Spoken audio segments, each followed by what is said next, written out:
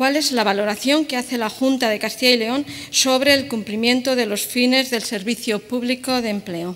La valoración que hace la Junta de Castilla y León del Servicio Público de Empleo, el que coloquialmente conocemos todos por su acrónimo ECIL, pues es una valoración positiva porque cumple las dos vertientes que nosotros queremos ayudar a las personas a encontrar un trabajo a través de la orientación, a través de la intermediación y sobre todo de la formación y también dar incentivos a aquellas empresas y a aquellos eh, medios que puedan para aumentar el número de, trabajadores.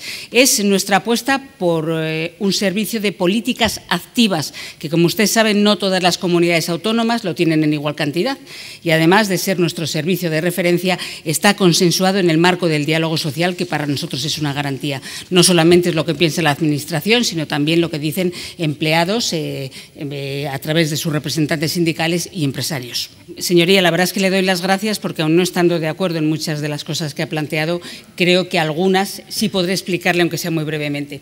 El ECIL efectivamente le decía que es nuestro centro el que gestiona esas políticas activas y para nosotros es un servicio público, es universal, en el que hay mil trabajadores a los que aprovecho para darle las gracias porque en estos momentos momentos de, unas tasas de desempleo tan altas, esa atención personalizada tiene también un coste emocional muy importante para ellos.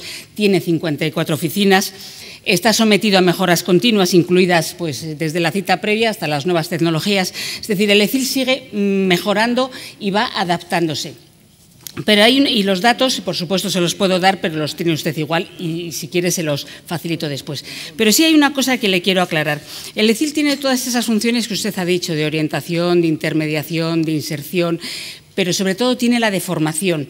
Porque, mire, en inserción usted apuntaba, ¿qué porcentaje hay? Pues se lo digo, un porcentaje bajo, pero en todos los servicios públicos de empleo. ¿Por qué?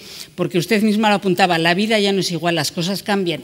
Y ahora mismo, cuando alguien oferta un empleo, lo hace no solamente en los servicios públicos de empleo, sino lo hace también, imagínese, a través de eh, un medio de, comunicación, a través de las redes, a través de esas eh, redes que ustedes conocen perfectamente, como puede ser Infojobs, etcétera. Es decir, que nosotros, nuestro objetivo fundamental, aquí dice que el 48,7 de las empresas emplea las redes para buscar trabajadores. Por eso tenemos que centrar los esfuerzos del ECIL en que las personas tengan más empleabilidad porque estén más formadas. Ojalá todos los empresarios quisieran tenernos como referente.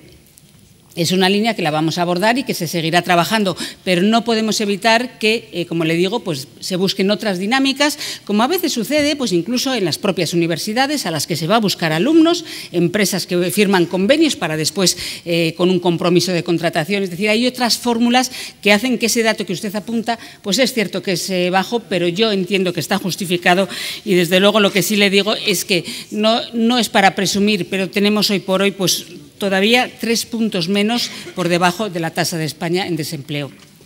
Como ese es nuestro objetivo, creo que tendremos ocasiones para poder llegar a acuerdos en la medida que crean que de verdad el ECIL debe mejorar. Muchas gracias.